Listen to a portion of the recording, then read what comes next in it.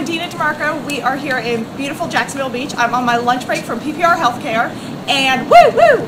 Hmm. Um, and I'm about to run the 40 for Rich Eisen in my business attire.